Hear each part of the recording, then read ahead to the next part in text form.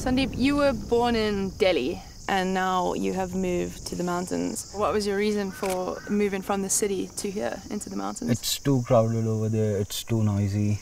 Over here you see the chirping of birds, you see the Himalayas and each valley here is like quite different. If you come and explore, you'll see different culture, different people. Your job now is kind of to show people the beauty of this magical place. I have been doing professionally now. Like I've been into the trekking and hospitality business out here in the mountains. We take people out to the uh, base camp of different peaks. It's always good to see the reaction on their faces when they are out on the summit during the sunrise. Yeah.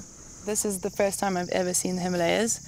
It was surreal. I first saw the reflection in the lake and then looked up and just saw this amphitheater of snow-capped peaks and mountains Mm-hmm. and it was better than I could have ever imagined. And the golden hue as well. Exactly, at sunrise.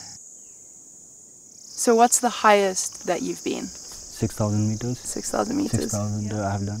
And is there a specific peak or summit or mountain that you personally want to challenge yourself to do? I would like to climb Thale Sagar Peak one day. All right. It's been climbed with, by civilians as well. So Okay. I'll try that.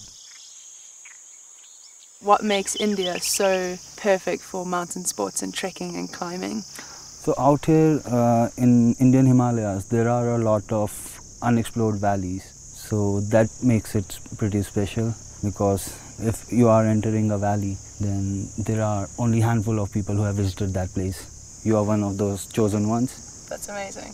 Wow.